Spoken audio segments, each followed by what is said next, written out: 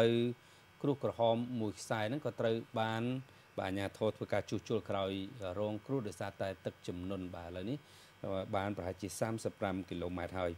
បាទផ្លូវគ្រោះក្រហមមួយខ្សែដែលតភ្ជាប់ផ្លូវបំបែកផ្លូវជាតិលេខ9នៅស្រុកថ្លាបរិវត្តបានរងនឹងការខូចខាតដោយសារទឹកជំនន់បាទឥឡូវនេះក្រុមជំនាញរបស់សាធារណការដឹកជញ្ជូនខេត្តស្ទឹងត្រែងបានធ្វើការជួសជុលថែទាំប្រវែង35គីឡូម៉ែត្ររហូតដល់ព្រំប្រទល់នៃខេត្តកំពង់ធំ លោកសកំណាតប្រធានមន្ទីរសាធារណការដឹកជញ្ជូនខេត្តបានផ្ដល់កិច្ចសម្ភារប្រាប់ទូរទស្សន៍អាស៊ីអាគ្នេយ៍តាមទូរស័ព្ទថា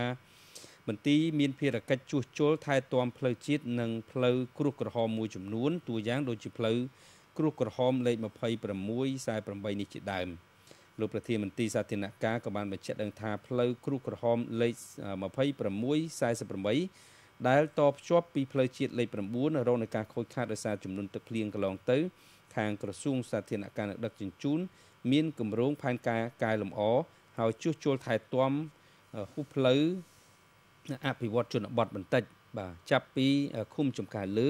រហូតដល់ភូមិស្ពងឃុំអន្លង់ភេស្រុកថ្លាបរវត្តនៃខេត្តស្ទឹងត្រែងរហូតមកដល់ពេលនេះគឺ30គីឡូម៉ែត្រហើយរយៈពេលមួយសប្តាហ៍ទៀតនឹងធ្វើ5គីឡូម៉ែត្រទៀតរហូតដល់ព្រំប្រទល់នៃខេត្តកំពង់ធំតែម្ដងបាទ លោកអ៊ុំសារ៉ាត់ដែលរស់នៅក្នុងភូមិរំដេងឃុំចំការលើស្រុកថ្លាបរវត្តខេត្តស្ទឹងត្រែងបានបញ្ជាក់ប្រាប់ទូរទស្សន៍អាស៊ីអាគ្នេយ៍នៅគុលស្ពានឈើថាបាទផ្លូវមួយខ្សែនេះគឺពីដើមឡើយជាផ្លូវរទេះគោរទេះកបីទេតែពេលដែលរដូវភ្លៀងរដូវវស្សាម្ដងម្ដងវាពិតជាពិបាកណាស់នៅក្នុងការធ្វើដំណើរពិសេសអ្នកជំងឺឈឺថ្កាត់ម្ដងម្ដងឬក៏ស្ត្រីសម្រាប់កូនម្ដងម្ដងទម្រាំតែ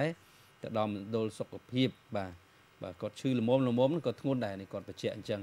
ហើយប្រជាពលរដ្ឋក៏សាទរដែរចំពោះការជួសជុលកំណត់ផ្លូវនេះឡើងវិញដែលបង្កលក្ខណៈងាយស្រួលនៅក្នុងការធ្វើដំណើររបស់បងប្អូនប្រជាពលរដ្ឋទៅកាន់ទីឋានដទៃផ្សេងទៀតបាទវាធម្មតាមានផ្លូវមានសង្ឃឹម